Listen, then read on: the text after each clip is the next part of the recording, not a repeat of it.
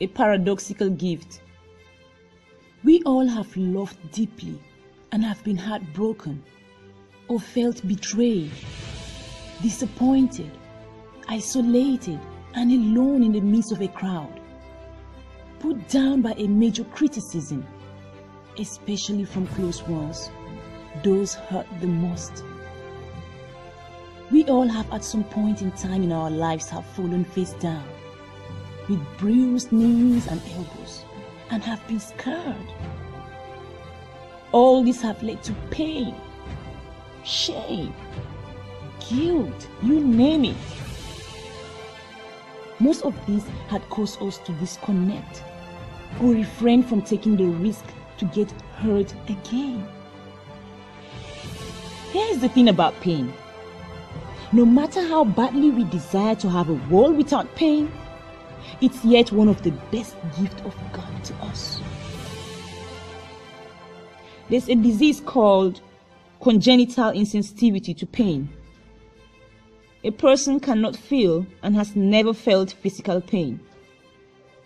A person that cannot feel pain may not respond to problems, those being at a higher risk of severe diseases. Let's understand that pain is necessary for us to respond.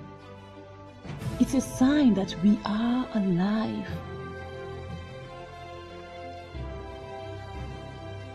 If we don't feel pain, we will be as the rocks on the seashore who never respond to the bashing of the waves against them, but silently change shape as they get hit hard. Being alive gives us the privilege to respond when we get hit hard and choose what shape we will take. Pain is a very important sign in life. It conveys messages at every point in time. Take time to find them out.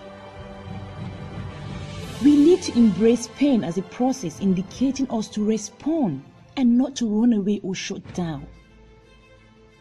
We need to identify the pain, whether it's indicating for us to either take time off and surround ourselves with our close ones and recover, or to ramp up and push further into progress.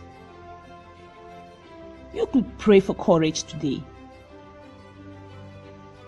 Father, thank you for this life and the signs that let me know that I am alive. Thank you for the spirit of, the, of comforter who brings comfort to me in the midst of tribulations in my life. I pray that you give me boldness to not shield from pain, but go all in through it. That I will learn to feel the pain in the moment and respond rather than live in the pain and be bitter.